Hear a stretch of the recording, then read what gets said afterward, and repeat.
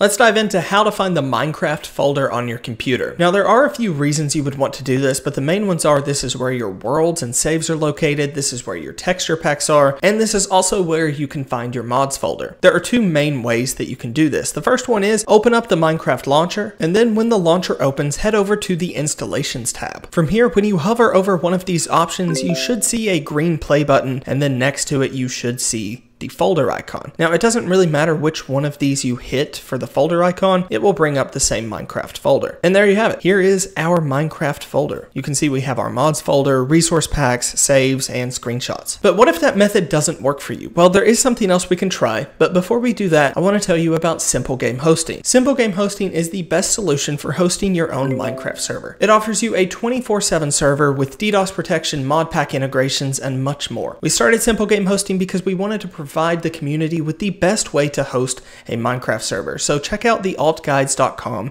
slash SGH, the first link down in the description below. But for now, let's get back to the video talking about how to find your Minecraft folder, method two. What we can do is hit the Windows key on our keyboard and hit R at the same time, so Windows R. This will bring up the run window. When it's open, make sure there is nothing in the text box and then type percent app data percent. No spaces, no capitalization, and then hit enter on your keyboard, and this should bring up your roaming folder.